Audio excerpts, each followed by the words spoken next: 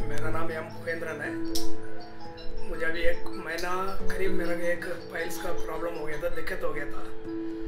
Doctor साहब को किसी ने बहुत लोगों ने मेरा बताया डॉक्टर साहब का नाम बहुत फ़ेमस है, उनके पास जाओ, वो बिल्कुल सही कर देंगे, बहुत जल्दी अच्छा हो जाएगा आयुर्वेदिक इनका कुछ वैसे बताया गया मैं डॉक्टर साहब पास आया हूँ, पंद्रह दिन पहले फाइल्स हो गया था, मेरा बहुत ज़्यादा दिक्कत हो गया था। चलना फिरना में दिक्कत था, बैठने में बहुत ज़्यादा दर्द हो रहा था।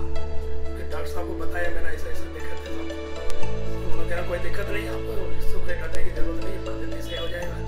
उन्होंने अभी पंद्रह दिन से मेरा दवाई दिया ट्रीटमेंट किया। और बिल्कुल परफेक्ट हो, मैं आ जाए हूँ, आज